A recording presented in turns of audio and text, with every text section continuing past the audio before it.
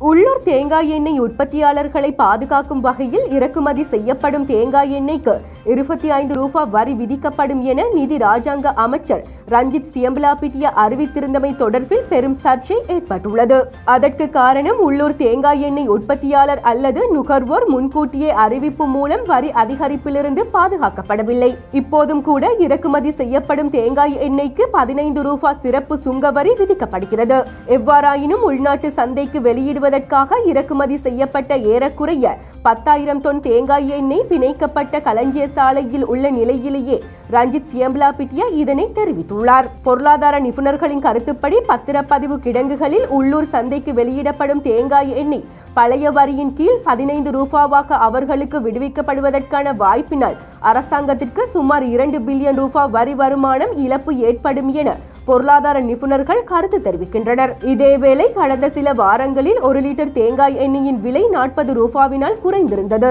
டொலரின் பெறுமதி குறைந்தமையினால் கடந்த வாரம் ஒரு லிட்டர் தேங்காய் எண்ணெயின் விலை ஐநூற்றி முப்பத்தி ஐந்து ரூபாவாக பதிவாகியிருந்தது.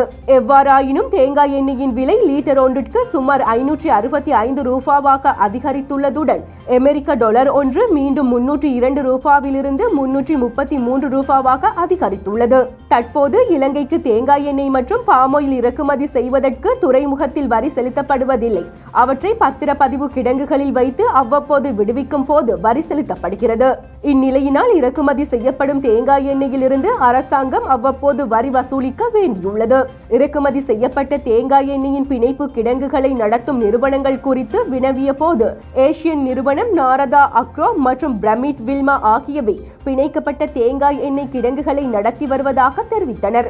இதேவேளை இறக்குமதி செய்யப்படும் தேங்காய் எண்ணெய் மீதான வரியை அதிகரிப்பதன் மூலம் இந்நாட்டு நுகர்வோருக்கு எவ்வித நிவாரணமும் கிடைக்கப் போவதில்லை என நுகர்வோர் உரிமைகளை பாதுகாப்பதற்கான தேசிய பிரச்சாரம் தெரிவிக்கின்றது. அந்த அமைப்பின் இணைத் தலைவர் ரஞ்சித் வித்தானகே நேற்று ஊடகவியலாளர் சந்திப்பொன்றை நடத்தும் போதே மேற்கண்டவாறு தெரிவித்தார்.